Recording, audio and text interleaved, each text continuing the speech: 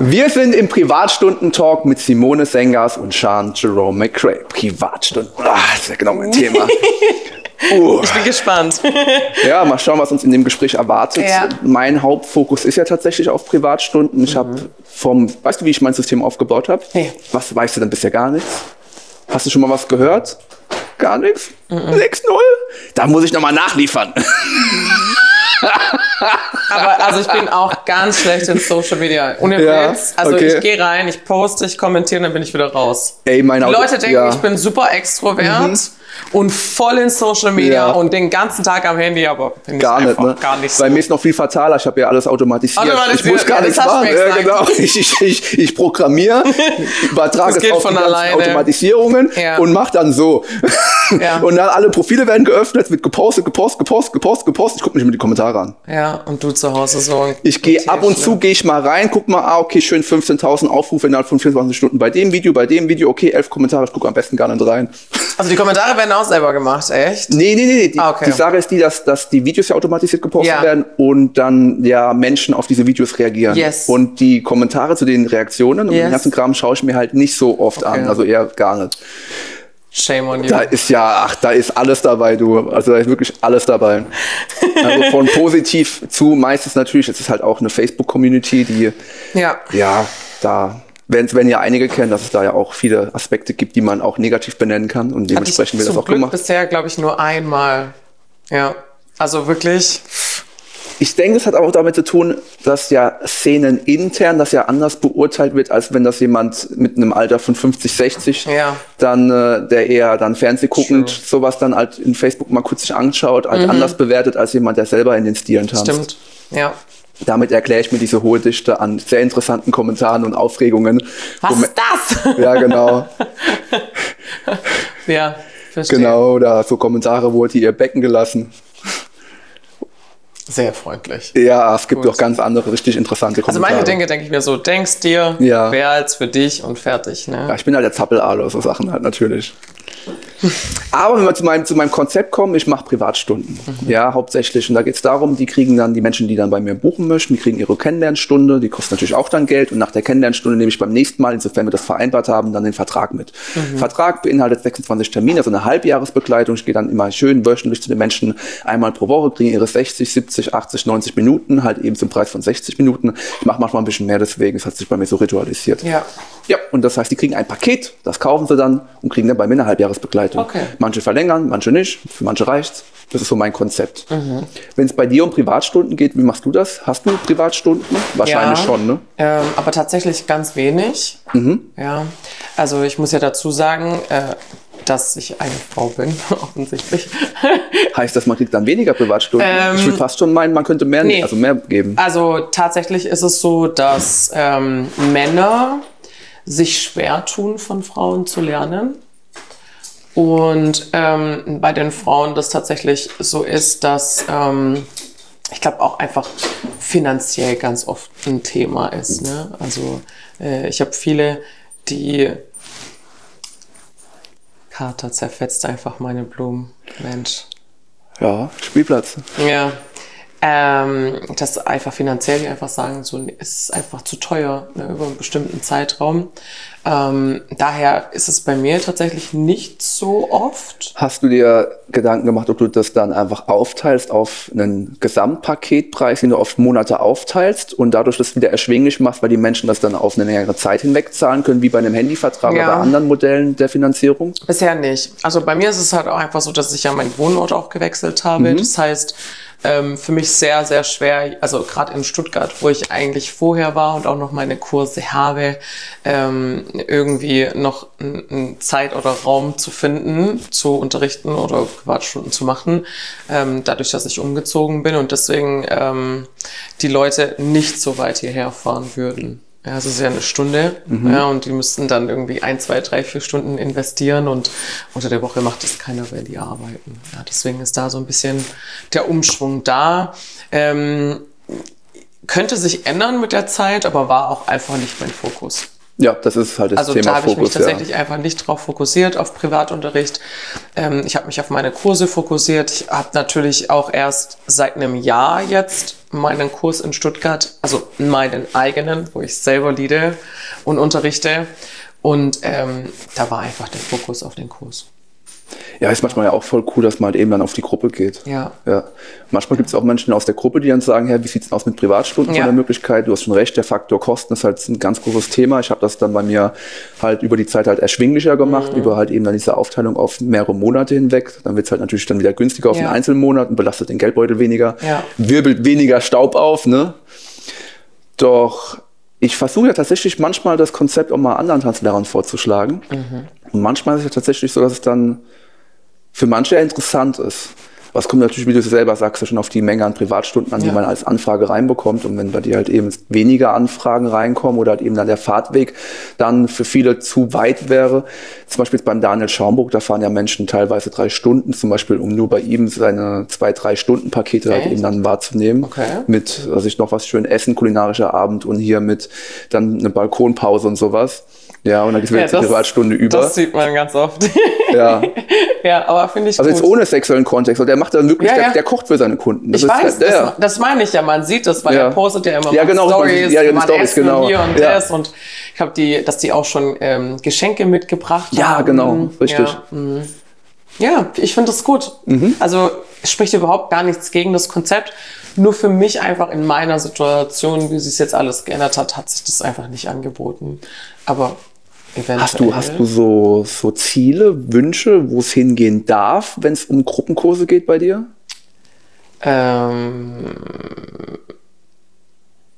wie meinst du das jetzt? Ja, manche haben ja das Ziel, dass sie zum Beispiel bei einem festen Standort bleiben. Manche wollen Ah. mehrere Standorte, manche wollen noch einen Tanzlehrer dazu nehmen, manche wollen eine ganz eigene Tanzschule. Wie ist bei dir? Äh, Sag, komm, sag. Gut, gute Frage. Oh, wo darf es denn Ähm, hingehen? Also äh, Ziele ändern sich ja im Leben. Mhm. Man fängt ja an und setzt Ziele und dann erreicht man sie und dann will man das doch anders und dann doch mehr und vielleicht doch da weniger und vielleicht doch ein bisschen spezifischer. Also als ich angefangen habe, wollte ich einfach nur ein Sternchen auf einem Flyer sein. Ja.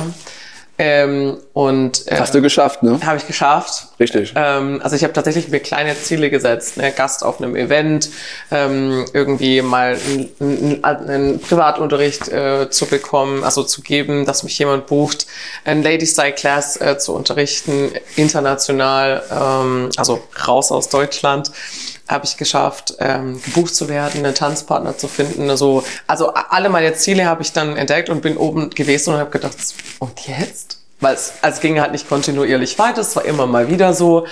Und habe aber dann irgendwann mal gedacht, so irgendwie ähm, bin ich seit sieben Jahren Lehrerin, aber halt im Sportbereich gewesen. Und ich habe es eigentlich immer geliebt zu sehen, dass die Leute sich wirklich weiterentwickeln durch das, was ich ihnen beigebracht habe.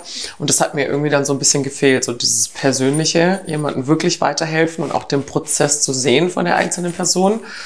Und habe dann gedacht, so, hey, eigentlich möchte, möchte ich gerne schon mit Menschen regelmäßig äh, arbeiten und ähm, habe dann mich so ein bisschen mehr auf Kurse fokussiert und habe dann, wie gesagt, in Stuttgart angefangen und hatte aber leider keinen passenden Partner und habe dann gesagt, mache ich einfach selber und habe mich dann halt so ins Leading reingeschmissen, was natürlich auch echt krass ist. Also gleichzeitig ein guter Follower zu bleiben und ein guter Leader zu werden, ist echt eine Hausnummer.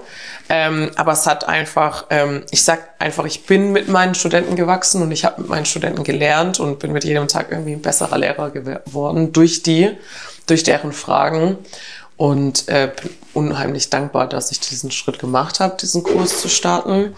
Ähm, habe dann jetzt seit ähm, Januar äh, wirklich einen festen Lady-Style-Kurs mit reingenommen, der also überrannt wird, also wirklich, ähm, was natürlich auch ein tolles Kompliment ist und habe Leute wirklich von null auch schon eingelernt in Gesomba. Und wenn die dann mit ihren zwei, drei Monaten auf Partys tanzen und die Leute sagen, du tanzt wirklich erst seit drei Monaten, ist für mich ein Ja, Riesenkompliment. glaube ich. Ähm, und das ist für mich einfach ein Highlight und genau das möchte ich.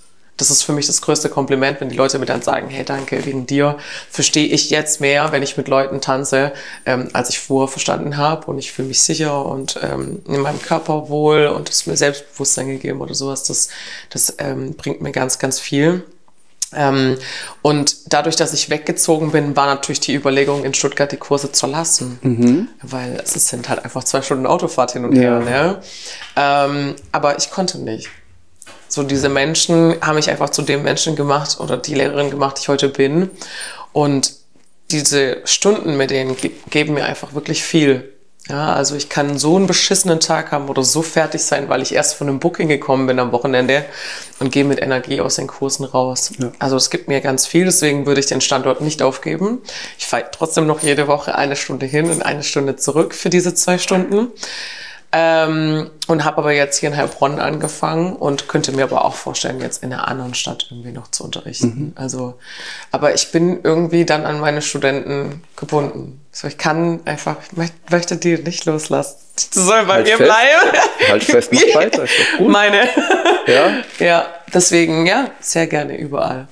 Lass dich da nicht irgendwie rausbringen, nur weil du nee. umgezogen bist. Zieh das auf jeden Fall weiterhin durch. War ich nicht. Eine Stunde Fahrt ist gefühlt trotzdem Ist nichts. okay. Ja. Kann man. Also für die Leute, die regelmäßig äh, reisen, ne, ist das nichts, Stunden, genau. ist es eigentlich gar nichts, ja. Wie ist denn das von deiner Empfindung, wenn's ja, wenn du dich erfreust an dem Fortschritt von Menschen tänzerisch? Was für Werkzeuge, ob wir zum Beispiel über, dass die Menschen erfühlen, wie sich die Bewegung anfühlt, also über auch körperliches Anfassen, mhm. Bein müsste so sein, also halt Bein müsste ja. so sein, Fuß müsste so ja. sein, das hier verkürzt, das hier lang. Ja. Über Anfassen geteachter Unterricht mhm. oder halt eben dann über, ich zeige es den Leuten vor, körperlicher, körperlicher Abstand, ich zeige vor oder als Sprache? Was bevorzugst du von diesen drei? Oder wenn du einen vierten hast, zähl den gerne mit auf. Mhm. Was bevorzugst du, Menschen tänzerisch voranzubringen? Alles. Mhm. Tatsächlich. In welcher äh, Reihenfolge? Äh, ich bin ja gelernte Sport- und Gymnastiklehrerin. Mhm. Das heißt, ich habe zweieinhalb Jahre ähm, meine Semester gemacht und in allen Fächern alles gelernt. Und wir haben ähm, diese ganzen verschiedenen Arten, jemandem etwas beizubringen, gelernt. Ja, also taktil über Berührung, mhm. Ähm, visuell, dass man es halt, dass Leute gibt, die können nur über äh, Szenen lernen und dann gibt es Leute, denen muss man halt alles erklären. Ja? Und da ich das gelernt habe, wusste ich, dass es unterschiedliche Menschen gibt und somit habe ich im Kurs alle Menschen vertreten ähm, und ähm, unterrichte alles. Also ich würde, wenn ich etwas, ähm, wenn ich zum Beispiel eine Kombination zeige oder eine Bewegung erkläre, dann mache ich das in allen drei Schritten. Alles. Welche Reihenfolge? Ähm, gute Frage. Habe ich da eine ja. Reihenfolge? Also ich glaube, ich erkläre und zeige mhm. und dann ähm, gehe ich zu den Leuten, ähm, die ähm, taktile Berührungen brauchen. Mhm. Ich glaube, so, so in, in der Abfolge, ja. Ab welchem Moment hast du die Empfindung, dass taktil, dass du über Berührung nochmal nachkorrigieren solltest bei den Menschen? Ist es dann aufgrund dessen, dass sie es visuell, wenn du es dann betrachtest, das nicht machen, wie es sein soll? Ja, also wenn sie es visuell nicht lernen und man hat es ihnen aber dann wirklich zwei, dreimal versucht zu erklären auf bestimmte Art und Weise und ich bin wirklich ins Detail rein und auch muskulär und alles erklärt und so und dieser Mensch kann es nicht umsetzen, mhm. dann muss ich das taktil zeigen. Kannst du dir vorstellen, dass alle Menschen taktil lernen können? Ja, aber nicht wollen. Genau, richtig. Dankeschön. Und das Wollen kann Vergangenheit zu ja. tun haben. Also nicht jeder ne? möchte angefasst werden. Richtig, genau. Und, Und das ist, das äh, verhindert das. Ja. Richtig. Das ist mich auch meine Auffälligkeit, die ich sehe. Ja. Dass viele Menschen vielleicht aufgrund von Vorgeschichten es nicht möchten, dass andere Menschen in eine gewisse Nähezone ja. kommen und dadurch dann der Lernprozess verhindert werden würde, weil sie dann von mir aus retraumatisiert sind aufgrund von Nähe und dadurch eigentlich ihren natürlichsten Kanal, Körperkontakt, nicht nehmen können als, als Lernmittel das ist natürlich eine schlimme Erfahrung, die jemand gemacht hat. Ja. Ähm, aber ja, stimme ich zu. Ja. Deswegen sollte man ja trotzdem auch immer wieder fragen, ist es okay, wenn ich dich ja, genau. anfasse? Ne? Ähm, ich glaube, für uns ist es einfach im Tanz so selbstverständlich geworden, jemanden anzufassen. Ich frage immer noch manchmal Menschen, gerade wenn ich dann schon die Vermutung bekomme, oh, sollte ich nachfragen? Ja. Ja, zum Glück reagieren die normal, weil manchmal könnte man auch meinen, die kriegst du halt gefragt, natürlich kannst du mich anfassen. nee, ja. ist schon eine komische Frage, darf ähm. ich dich anfassen? Also, ne? So grundsätzlich, also, die ist schon okay, die Frage, ja. weil ich habe schon gemerkt, es gibt auch Menschen, die halt das bisschen lächerlich finden. Ich bin im Tanzkurs, natürlich darf ich ja. dich anfassen. Ja. Ja, mag schon sein, aber dann möchte ich einfach immer selber auf der sicheren Seite sein. Dann ja. Ich glaube, ich immer noch zehnmal nachfragen, aber es mhm. sicher sein, den Menschen dann nicht irgendwas Schlechtes angetan zu haben. Ja, ist ja wirklich so genau. Ja. Ja. Hm, jetzt ist ja die Überlegung zum Beispiel, wie sind denn dann so, also wenn man dann ja Menschen hat, die zum Beispiel eine gewisse Nähezone nicht haben wollen, haben die ja trotzdem ja offensichtlich tänzerische Fortschritte. Ne? Mhm. Und wenn man den Vergleich ziehen würde zwischen Menschen, die zum Beispiel körperlich die Nähe zulassen würden und Menschen, die das nicht, sage ich mal, für sich bevorzugen, gibt es ja trotzdem dann schon eine gleiche Levelqualität, sage ich mal, also halt ein Fortschritt. Ist es dann, woran liegt das? Also wo, wo ist dann der Grund, dass obwohl ja fühlen und dass du jemanden tänzerisch in der Bewegung führst, begleitend, dass es da gute Fortschritte gibt. Gerade im Lateinbereich ist ja gefühlt schon fast nur notwendig und nur so machbar dass der Tanzlehrer ständig über Anfassen und Reinfühlen, indem er wirklich ein Körperkontakt ist, taktil, mit den Menschen Fortschritte erzielt. Und trotzdem es Menschen gibt, die halt eben dann über Sehen und gehört haben, dann das in einem eigenen Verarbeitungsprozess, in einem eigenen Empfängerhorizont, erklären einem Menschen, der blind ist, wie Farben aussehen und halt eben einem, einem Menschen, der Cola getrunken hat, wie Cola schmeckt, anhand dessen, was er schon kennt. Das wird ja häufig schwierig. Mhm. Und Sprache wendet ja genau das an. Also was für Assoziationen löst du durch Worte bei den Menschen aus und wie wird das kognitiv kognitiv verarbeiten, was macht er in sich daraus. Und das ja genau da der Grund ist, warum manche Menschen komplett völlig andere Sinnesbilder in sich bilden, als diejenigen, die halt körperlich, physikalisch in das reingeführt wurden. Dann kommt halt nur das Ergebnis raus, was ja das Ziel ist. Das heißt, wie erklärst du dir das, dass es trotzdem für diejenigen, die auditiv und visuell lernen, gleiche Ergebnisse gibt wie für körperliche? Ist das überhaupt so? Ist das überhaupt so? Oder wird immer jemand nachhängen, der taktile mehr Fortschritte gemacht hätte, auch wenn er auch visuell und auditiv gut lernt. Ne? Also ich glaube, ne? die Menschen, die visuell äh, beziehungsweise die diese taktile ähm, Hilfe brauchen, äh, lernen meiner Meinung nach langsamer. Also mm, so mhm. von den Erfahrungen her. Mhm. Ähm, ich kann aber auch äh, vielleicht Interessant. einfach. Meinst du langsamer oder, oder, oder kriegen sie nicht oft genug ihren Kanal befriedigt, weil sie so oft was hören im Unterricht und so oft was sehen, aber nicht auf ihren also, Kanal bekommen mit Taktil? ja, genau, interessant. Ja, also ähm, so wie ähm, die Situation ist, ähm, denke ich, hängen die hinterher. Also wenn jetzt jemand taktil ist und der auch einen Lehrer hat, der ihm alles taktil mhm. zeigt und beibringt, dann glaube ich nicht, dass die Person hinten dran hängen würde. Aber aufgrund dessen, wie eben die Situation ist, ne? wie Workshops stattfinden, wie äh, auf Festivals zum Beispiel unterrichtet wird, wie ein Kurs funktioniert und so weiter. Ähm, da hat man einfach nicht die Möglichkeit, speziell auf die Einzelperson reinzugehen und dieses Taktile zu befriedigen. Also wenn ich jetzt versuchen würde, in meinem Kurs wirklich jeden Einzelnen mhm. auf seine Art und Weise ähm, weiterzubilden, das wird nicht funktionieren und deswegen gibt's ja Privatunterricht. Mhm. Ne? Ähm, aber das muss halt dann auch jedem Studenten bewusst sein, dass er einfach in der Masse äh, seine Informationen bekommt und entweder mitkommt oder nicht. Ja. ja. man kann einfach nicht den ganzen Kurs festhalten wegen dieser einen Person. Mhm. Und da kommt halt dann eben die Empfehlung direkt an die Person, hey, fändest du es denn nicht auch gut, ja, vielleicht einfach mal Privatunterricht zu nehmen, wegen dem, dem und dem. Ja. ja um auch mit den anderen wieder mitzukommen. Also in der Situation. Ich habe Kundinnen, die bei mir sich melden, die dann so eine Zweitagespauschale bei mir buchen, wo ich dann zwei Tage am Stück da bin und das zu einem Pauschalpreis und dann 48 Stunden komplett tänzerisch verfügbar bin. Und das sind meistens Damen, die schon in einem Kurs drin sind und nach einer gewissen Kursstundenanzahl für sich merken, es werden andere Damen bevorzugt von den Männern. Mhm. Sie werden deselektiert und merken auch von der Eigeneinschätzung, dass sie nicht so gut sind wie die anderen Damen im Kurs, im Direktvergleich. Und dann für sich nicht die Entscheidung treffen wollen, ich höre auf mit dem Tanzen, sondern ich besser nach, mhm. über halt eine andere Lösungsmethode und buchen dann bei mir dieses Zwei-Tages-Pauschalen-Ding. Ist wirklich der Klassiker. Das sind die klassischsten Damen, die bei mir die Zwei-Tages-Pauschale buchen. Und das ist echt interessant, dass das auf jeden Fall in der Szene vorkommt, dass Damen dann für sich erkennen, mit dem, wie ich in der Gruppe jetzt, sag ich mal, herangeführt werde an meine Schritte, ist jetzt für mich nicht der beste Lernweg. Ich mache das taktil. Die sehen das vielleicht nicht so in ihrem Prozess, ja. aber die kommen am Schluss, weil ich mache sehr viel taktil. Ich mache ja gefühlt nur noch taktil. Ich gehe von taktil, korrektiv maximal dann, wenn es taktil nicht klappt, in die sprachliche Korrektur. Weil ich habe das Gefühl, wenn ich rede, oder wenn ich anderen Tanzlehrern zuschaue, reden die immer aus Verzweiflung, weil mhm. die keinen anderen Weg sehen, wie die eine Gruppe zu irgendwas mobilisieren können im Körper. Und dann ist es gefühlt so ein leichter Verzweiflungsakt, der zum Beispiel, wenn die dann das versuchen zu erklären, so zeigen, die Menschen machen es nicht. Und du merkst schon so, alle werden unzufriedener im mm. Kurs. Und ja. dann kommt Verzweiflung irgendwann auf. Und ich glaube, dieses Thema Verzweiflung ist eigentlich schon ein bisschen mehr, am Anfang schon nur so verdeckter. Und es zeigt sich immer mehr, weil immer klarer wird, ich habe was gesagt, ich guck rum, das Werkzeug Sprache hat nicht funktioniert, ich wende wieder das Werkzeug Sprache an, und aber es klappt immer noch nicht und merke schon, ich komme mit Sprache nicht weiter. Und dann kommt ja irgendwann immer das Endergebnis, okay, in welche Hand greife ich, das ist in Form von taktil, aber normal. Mhm. Weil manche würden dann aggressiv werden, Leute, was macht doch mal richtig hier? Was ist denn los? Gibt's auch.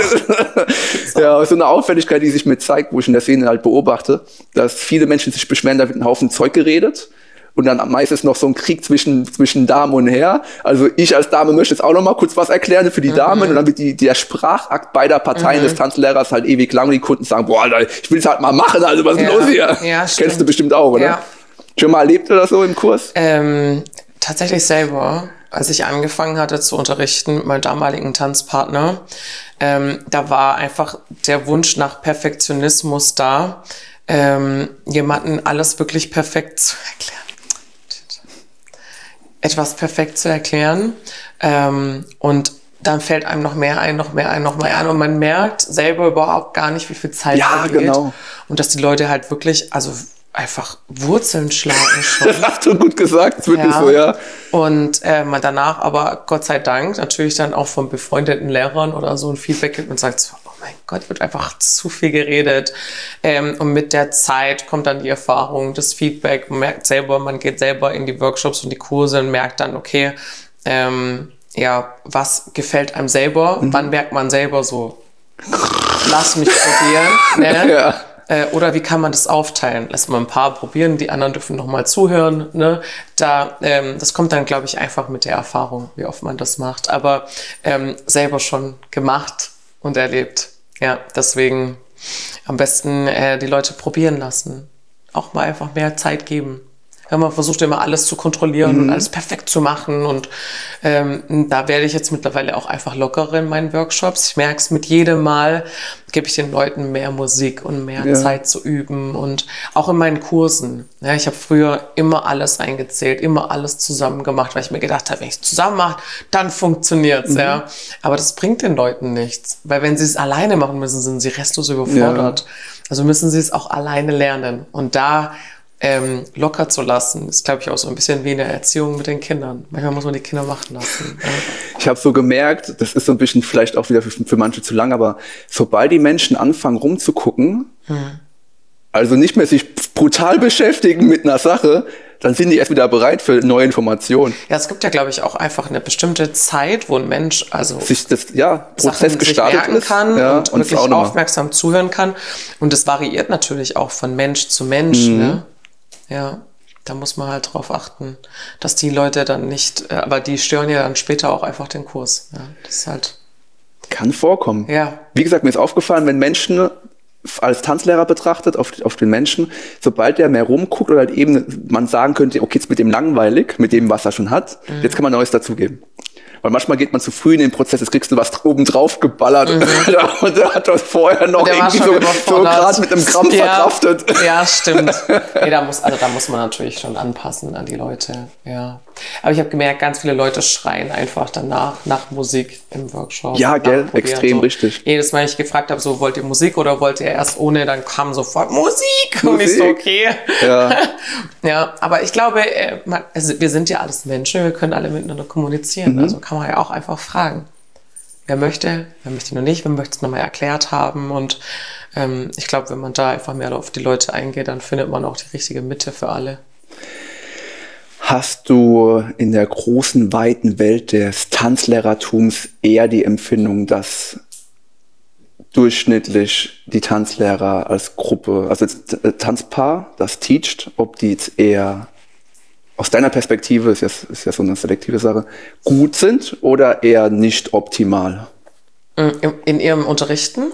Genau. Ja, ähm, kommt natürlich auf die Person drauf an. Wie die Gruppe drauf reagiert.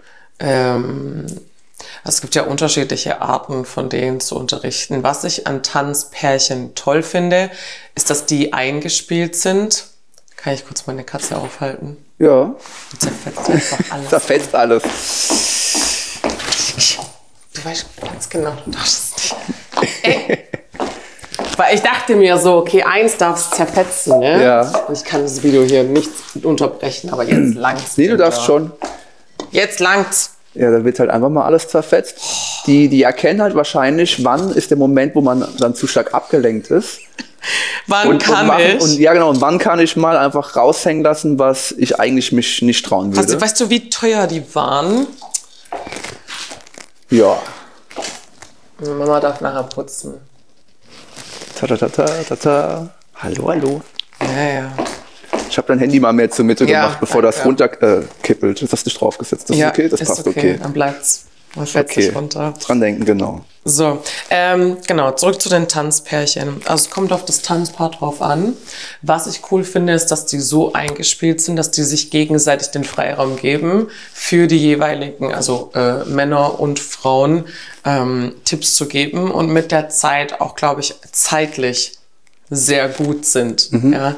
Ähm, was ich zum Beispiel mega befürworte, ähm, das habe ich ähm, zum ersten Mal bei Dre und Gabi gesehen, dass die die Leute aufgeteilt haben, die Frauen und die Männer, beziehungsweise Leader und Follower, und die Schritte einzeln gemacht haben, dass die erstmal selber wussten, okay, was ist eigentlich der Grundschritt, den wir gerade lernen, ähm, und dann erst zusammengegangen sind, weil ansonsten einfach man am Anfang so an sich rumreißt. Weißt du, so die Männer reisen rum, die Frauen reisen rum und die Frauen machen einfach irgendetwas. Ähm, ich denke, es hat Vorteile, wenn man in einer festen ähm, Partnerschaft ist, weil man einfach eingespielt ist. Ja, ähm, ich mache ja hauptsächlich äh, äh, Kollaborationen mit Lehrern und da ist halt auch immer so ein bisschen, man muss sich, ne, man muss sich den Platz nehmen, um etwas zu sagen. Also die Lieder sind einfach so eingespielt in ihrem Unterrichten, weil sie es halt meistens immer alleine machen, ohne Frau, dass die irgendwie alles auch für die Frauen erklären und ich dann halt auch manchmal, also natürlich einen Witz machen und sage so, hey, ich kann das übernehmen, wenn du möchtest, ne? Ähm, aber es sollte jetzt natürlich nicht ausarten, dass es einen Kampf gibt. Ja, so, ich wollte aber noch was sagen und ich und das und also man sollte schon ein eingespieltes Team sein und jedem den Freiraum geben. Ja, man kann ja als Dame dann schon sagen, und neben dem, dass den, für die Männer ja eben gerade wichtig ist, dass die das und das tun, ist es für uns Frauen währenddessen Richtig. wichtig, dass wir das und das und dann ergänzt sich das in ein paar. Genau. Aber wie gesagt, der Mann muss halt im Endeffekt dann auch den Freiraum geben, dass die Frau das erklären darf. Sie kann sich das Unterricht. nehmen. Sie kann schon in sein Wort reinfallen und dann sagen, das aufgreifen, was er gerade als Information Ja. gegeben hat und sagen, und zudem wäre jetzt neben dem, dass für die Männer das und das wichtig ist. Ja. Ne? Ja, ja, doch, das das, ist eine gute Methode. Ja. ja. Mhm. das ist halt was, was wir halt lernen und so ein Zeug. Und das klappt auch sehr gut mit, also wenn der Mann es nicht überkrass dann reagiert mit, du hast zwar wiederholt, was ich gesagt habe, aber du hast was Eigenes gesagt. Also zum Glück ist das, glaube ich, also zumindest vermute ich das weniger vertreten in der Szene, dass jemand wirklich so mal, Also Dann, ich hatte äh, auch schon Erfahrungen gemacht, wo mir jemand äh, davor gesagt hat, was ich sagen darf im Kurs und was nicht. hm, hört Dass sich, auch ja nichts schief geht. Ne? Okay. Also, es gibt solche und solche. muss ich mich raushalten. Ich meine, der Erfahrungswert, der Erfahrungswert spricht ja für sich. Den habe ich halt noch nicht gemacht, aber der wird gemacht werden, das ist ganz klar, weil Ja. die Möglichkeit gibt's ja und dann das, wird's das auch geben. Von daher, es tut mir leid, dass du das erlebt hast. Das ist okay, weil ich glaube, also ich bin tatsächlich ein totaler Befürworter von solchen schlechten Erfahrungen, weil man für sich selber einfach ähm, Grenzen setzen kann. Was möchte man, was möchte man nicht? Und wenn man die Erfahrung gemacht hat, was man nicht möchte, kann man auch viel mehr herausfinden, was man möchte und Weil das man auch sich kennengelernt hat, ja genau, sich in der Situation erlebt hat und dann für die Zukunft das ändern kann. Ja, Ja, und genau. wenn ich jemand habe, der sagt, hey, ich würde gerne mit dir unterrichten, dann kommuniziere ich mit dem Menschen gleich von vornherein, hey, hör zu, ich bin mein eigener Lehrer. Natürlich, ja, unterrichten wir zusammen und Mhm. finden eine Mitte zusammen und es ist ein Miteinander, aber du kannst mir nicht sagen, was ich meinen Ja. Frauen weitergeben werde. Sonst klappt die Collaboration nicht wirklich lange. Wird äh, einmal vielleicht und Ja. dann war es das. Nein, aber also ich hatte das tatsächlich auch nur einmal Mhm. erlebt. Ja, einmal von Millionen Mal. Von daher passt das auf jeden Ja. Fall. Das ist doch auch wieder fast schon ein gutes Schlusswort. Steht zu euch selber. Ja. So die Message im Endeffekt. Ja. Ja. Gerade als, als Follower Steht eine. Frau. Simone Sengas, Sean Jerome McRae, Privatstunden. Wir sehen uns.